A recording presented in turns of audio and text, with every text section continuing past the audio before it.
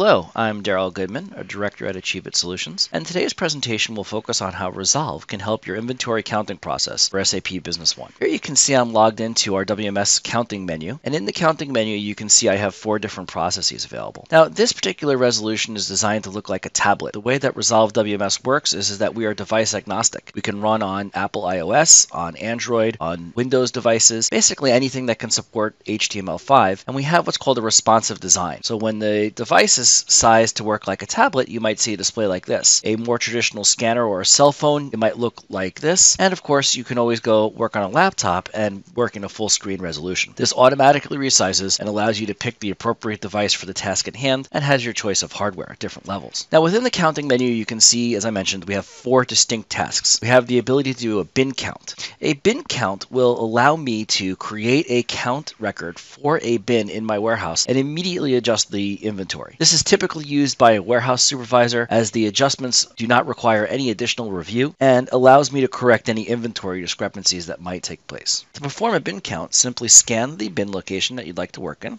and then scan the items that appear in the bin. If the item appears more than once, you can simply scan the item again. Or you can edit a quantity by simply using your stylus or touchpad to be able to tap on it, edit, and then changing the quantity.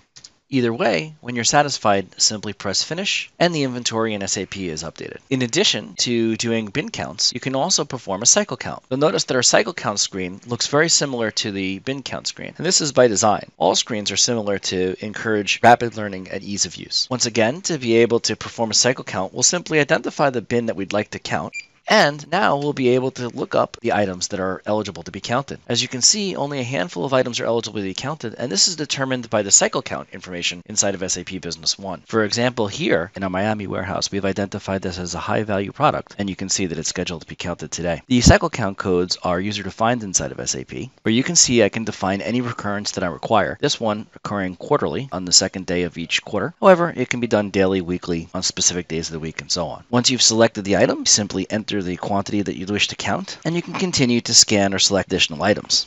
If you try to scan an item that's not eligible for cycle counting, the system will advise you and block you from counting that product. At any point during the count or any other time while using the WMS, you can always use the quick search to be able to get more information about the product. So if I'd like to see the item that wasn't eligible to be cycle counted, I can simply scan the item code into the quick search and get information about it. So first, I can see where it's supposed to be in the warehouse. If I want to see other information, such as where it's located in other warehouses, I can simply click the checkbox to do so. I can look and see the serial and batch information, and even details such as the item's full description, the units of measurement measure, the quantity for the units of measure, and the alternate barcodes. The item's picture is also available, and you can click on it to get a larger view if you need help identifying the product. Additional information is available, such as the warehouse quantity availability, any attachments that might come from the item master, license plate information, and then transactional information, such as sales orders, purchase orders, and so on. When you're done, you simply hit finish, and SAP is updated. Inside of SAP, there are two different types of inventory counting documents. The cycle count that we just completed is an inventory counting document. This document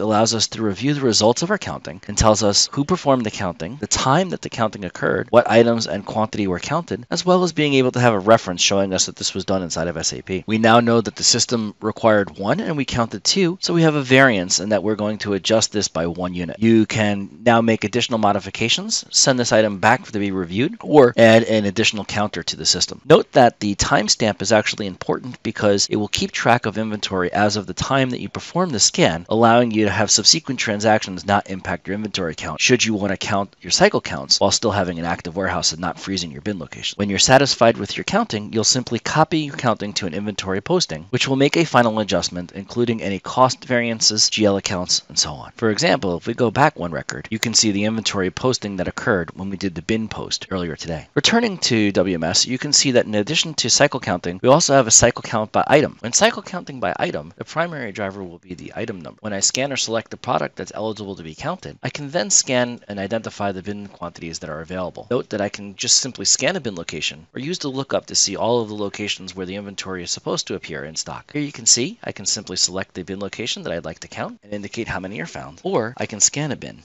Same thing. However, in this case, since the item was the primary driver, if I finish this count, any bin locations that I did not count that the system has this inventory will be adjusted to have a count of zero, thus adjusting the inventory out. SAP is updated. Our final counting type is a physical count. A physical count typically occurs at predetermined times, such as year end. In this particular case, it would be typical for one or more counters to go count all of the inventory in the warehouse. In this particular case, we're going to be using the scanner to go count several bin locations as I've been assigned an aisle. Here you can see I can simply scan the bin code and then begin to process the items that I'd like to count. Again, I can identify products and scan them individually. If I scan something inadvertently, I can delete a row. And if I would like to edit a quantity, I can click on the row, edit, be able to update the quantity. This, of course, can all be controlled by security settings. I can also turn off my quick scan feature, which will allow me to be able to scan the product and simply enter a quantity.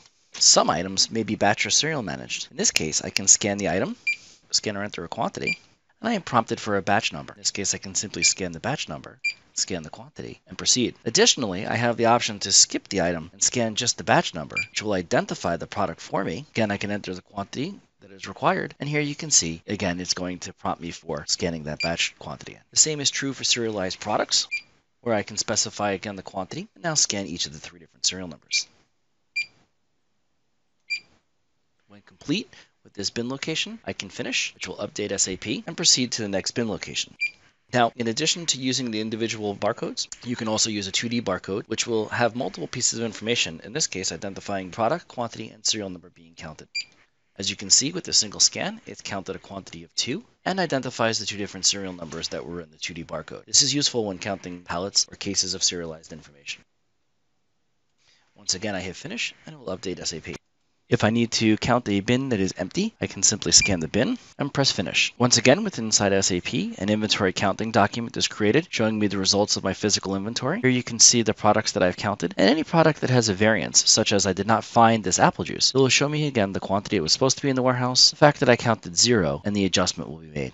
As you can see, the inventory counting process is very fast and simple to use when working with both SAP Business One and Resolv. If you'd like more information or have any questions, please feel free to reach us at www.achieveit.com. Thank you.